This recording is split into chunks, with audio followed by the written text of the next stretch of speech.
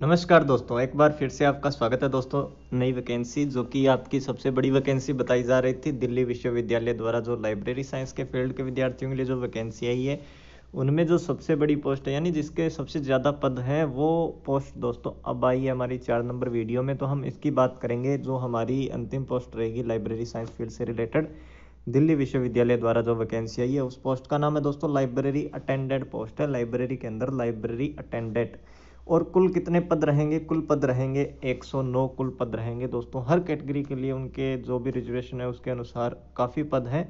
Sufficient पद हैं दोस्तों 109 पद बहुत काफ़ी पद होते हैं, जिसके अंदर लाइब्रेरी अटेंडेड है, जिसका लेवल पे स्केल रहेगा दोस्तों लेवल पे स्केल रहेगा वन ठीक है, यानी अठारह हज़ार से छप्पन हज़ार नौ सौ तक आपकी सैलरी रहने वाली है। इसमें जनरल कैटेगरी के फोर्टी थ्री पद हैं। एस सी टी के पंद्रह नौ हैं ओबीसी के उनतीस पद हैं एस के बारह पद हैं, इस तरह टोटल कुल पद कितने हैं? एक सौ नौ पद हैं दोस्तों।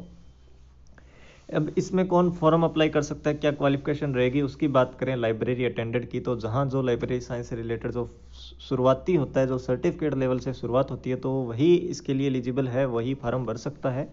जो बड़ी डिग्री रखते हैं, वो तो भर ही सकते हैं। अब बात करते हैं क्वालिफिकेशन की तो लाइब्रेरी अटेंडेंट की बात करें क्वालिफिकेशन की pay as per level first pay scale रहेगी लेवल फ़र्स्ट के अकॉर्डिंग इसमें दो ही जो कंपलसरी क्वालिफिकेशन है, वो रहेगी, एक तो आप दसवीं पास होने चाहिए पास टेंथ क्लास होने चाहिए दोस्तों. टेंथ पास होने चाहिए, दूसरा मांगा है certificate in library and information science दूसरा मांगा है C list C L I S जो इग्नू करवाती है, हर एक यूनिवर्सिटी करवा रही है सिक्स मंथ का सर्टिफिकेट कोर्स होता है. अब बात रहती है कि जो जिसने डिग्री कर रखी है, डिप्लोमा कर रखा है, वो फॉर्म अप्लाई कर सकते हैं नहीं कर सकता? बिल्कुल कर सकते हैं। सर्टिफिकेट सबसे छोटी क्वालिफिकेशन होती है लाइब्रेरी साइंस की। तो ये कर सकते हैं। तो दोस्तों, बड़ी क्वालिफिकेशन वाला ऑटोमेटिकली इक्विलेट हो जाता है। उससे बड़ी पोस्ट बड़ी पद के लिए भी आवेदन कर सकता है और जो सर्टिफिकेट लेवल के पद हैं, उनके लिए भी आवेदन कर सकता है। यानी बेली वालों की सबसे ज़्यादा थी कि बेली वाले फॉर्म लगा सकते हैं नहीं लगा सकते? तो बिल्कुल लगा सकते हैं। जिनका केवल सर्टिफिकेट किया है तो वो बताते हैं कि आप नहीं भर सकते तो वो एक तरह से आपको ऐसे ही बता रहे हैं तो आप भर सकते हो, फॉर्म बिल्कुल लगा सकते हो।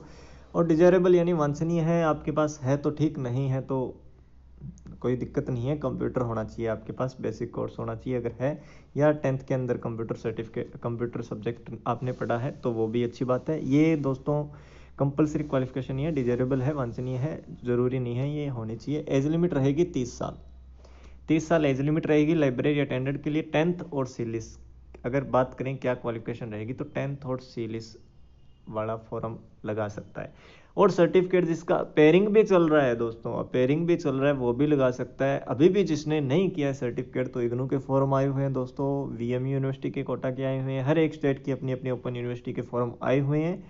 छः मंथ का सर्टिफिकेट कोर्स होता है फॉर्म भर के अप्लाई अपेयरिंग में फॉर्म भी लगा सकता है और सर्टिफिकेट भी कोर्स कर सकता है दोस्तों। बहुत सारी यूनिवर्सिटीज़ करवा भी रही है।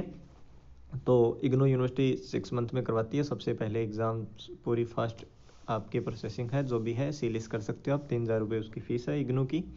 ठीक है दोस्तों लाइब्रेरी अटेंडेंट के लिए टेंथ और सीलिस सर्टिफिकेट चाहिए, ये तो होगी क्वालिफिकेशन अब सर एग्ज़ाम पैटर्न क्या रहेगा? स्कीम ऑफ़ एग्जामिनेशन तो बिल्कुल लाइब्रेरी अटेंडेंट के लिए भी एग्ज़ाम होगा आपका, जिसमें केवल डेढ़ सौ क्वेश्चन आएँगे ऑब्जेक्टिव टाइप क्वेश्चन रहेंगे। अब डेढ़ सौ क्वेश्चन के लिए टाइम रहेगा तीन घंटे का और मार्क्स होंगे तीन सौ तो मान सकते हो, एक क्वेश्चन आपका दो नंबर का रहेगा दोस्तों। एक क्वेश्चन कितना नंबर का रहेगा? दो नंबर का एक क्वेश्चन रहेगा। पीडब्ल्यूडी कैटेगरी से जो भी है हैंडिकेप्ड है, उनके लिए पंद्रह मिनट टाइम एक्स्ट्रा रहेगा, यानी तीन घंटा पंद्रह मिनट रहेगा।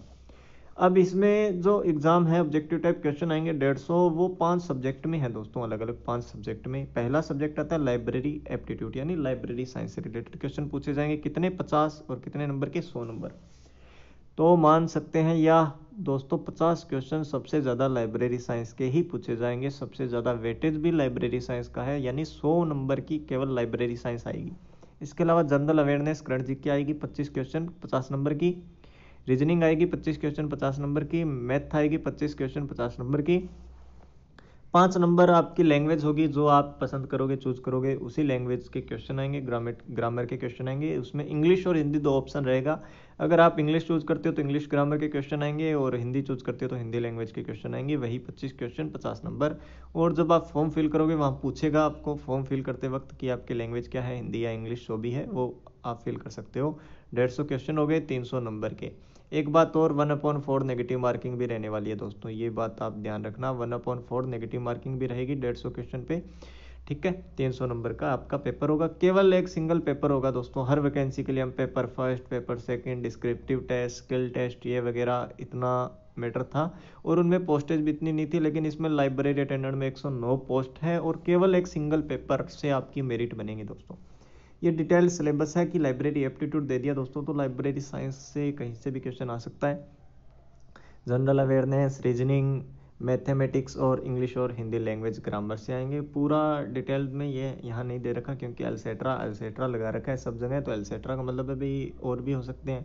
ठीक है, अब इसमें पेपर सेकंड भी रहने वाला है आपका, एक पेपर सेकंड भी रहेगा। सॉरी दोस्तों, आपको बताना भूल गया था, पेपर सेकंड भी रहेगा। पेपर सेकंड में क्या रहने वाला है, आपको बता दूँ मैं। पेपर सेकंड दोस्तों आपका दो भागों में रहेगा। पेपर सेकंड आपका कितने भागों में रहेगा दोस्तों? दो भागों में रहने वाला है पेपर सेकंड आपका। तो दोस्तों आपके इसमें केवल सिंगल पेपर रहेगा, ये पेपर सेकंड नहीं है, ये दूसरी वैकेंसी का था। सिलेबस यही रहेगा पेपर फ़र्स्ट का। सीधा पेपर फ़र्स्ट के अकॉर्डिंग आपकी मेरिट बनेगी। तो मेरिट के अंदर दोस्तों कैटेगरी क्वालिफाई मार्क्स रखा है, रिटर्न टेस्ट में हर कैटेगरी के लिए तो 45 परसेंट मार्क्स होना चाहिए आपका अनरिजर्व कैटेगरी के लिए ओबीसी कैटेगरी के लिए 35 परसेंट और ओबीसी के लिए 40 परसेंट और S C S T P W के लिए 35 परसेंट। यानी ये मिनिमम क्वालिफिकेशन, जो भी क्वालिफाई मार्क्स है, ये होनी चाहिए। अगर ये क्वालिफाई करते हो तो ये आपकी पूरी कॉपी इवोलेट की जाएगी। वन अपॉन फोर, देखो दोस्तों, नेगेटिव मार्किंग भी लिख रखा है। Merit list shall be drawn only for candidate, वो क्वालिफाई रिटर्न टेस्ट। जो क्वालिफाई करेगा रिटर्न टेस्ट, फिर ही मेरिट लिस्ट में आएगा वो। ठीक है दोस्तों, मेरिट लिस्ट के अकॉर्डिंग ये आपका सिलेक्शन होगा। 109 कुल पद रहेंगे। 109 पद बहुत काफ़ी पद होते हैं दोस्तों। सर्टिफिकेट लेवल पे वैकेंसी है लाइब्रेरी अटेंडेंट की दिल्ली विश्वविद्यालय के अंदर एनटी एग्ज़ाम करवा रहा है। दोस्तों नेशनल टेस्टिंग एजेंसी एग्ज़ाम करवाएगा, जो I I T JEE UGC NET वगैरह के एग्ज़ाम करवाता है। अब बात करें कि अपेयरिंग वाला फॉर्म बढ़ सकता है कि नहीं बढ़ सकता है? बिल्कुल अपेयरिंग वाला फॉर्म बढ़ सकता है। दोस्तों और बात करें कब से कब तक रहेगी तो 23 फरवरी से लेकर 16 मार्च तक आप फॉर्म लगा सकते हो 17 मार्च तक आप पेमेंट कर सकते हो। कुछ गलती रह जाती है, कुछ करेक्शन करना हो तो 18 मार्च से लेकर 20 मार्च तक आप करेक्शन भी कर सकते हो अपने डॉक्यूमेंट्स में, या फॉर्म जो अप्लाई किया है, कुछ संशोधन करना चाहते हो तो संशोधन भी कर सकते हो। फ़ीस जनरल कैटेगरी के लिए हज़ार रुपये फ़ीस रहेगी ओ बी सी के लिए आठ सौ फ़ीस रहेगी, और एस सी के लिए दोस्तों छः सौ फ़ीस रहने वाली है। ये थी दोस्तों आपकी अंतिम वैकेंसी दिल्ली विश्वविद्यालय विद्यालय द्वारा, जो एन एग्ज़ाम करवाएगा इसका लाइब्रेरी अटेंडेंट की। दोस्तों तो कुल मिला के देखो 109 पद आपने देखे लाइब्रेरी अटेंडेंट के, पाँच पद लाइब्रेरी असिस्टेंट के, सोलह पद प्रोफेशनल असिस्टेंट के, सत्रह पद दोस्तों आपके सेमी प्रोफेशनल असिस्टेंट के लिए, यानी थर्टी थ्री थर्टी एट और कुल 147 पद पे दोस्तों आपकी ये वैकेंसी है जो लाइब्रेरी साइंस के फ़ील्ड के जिसके एम लिप की है तो वो तो हालाँकि हर एग्ज़ाम में फॉर्म लगा सकता है तो एक से ज़्यादा पोस्ट के लिए भी आवेदन कर सकता है कैंडिडेट लेकिन एक ही पोस्ट के लिए एक से ज़्यादा आवेदन नहीं कर सकता, ये ध्यान रखना आप। ठीक है, नहीं तो फॉर्म आपके रिजेक्ट हो जाएँगे, सभी फॉर्म रिजेक्ट हो जाएँगे।